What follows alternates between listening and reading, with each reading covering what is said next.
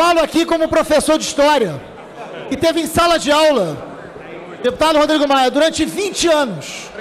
É inaceitável que se incluam os professores nessa reforma da Previdência. É perverso e é cruel. Não dá para falar, como Vossa Excelência falou, na construção do futuro de um país, penalizando os educadores dessa maneira.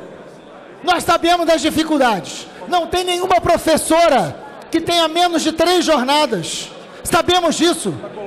Deputado Rodrigo Maia, quantas vezes perdi sábados e domingos que não pude ficar com filhos porque tinha que corrigir prova, preparar aula. Isso não conta em lugar nenhum, nem em salário, nem em lugar nenhum. Então é inaceitável a penalização do professor nessa reforma. Vamos encerrar, a, presidente. Penalizar o educador é agora, não é em campanha eleitoral. Por isso eu peço voto sim.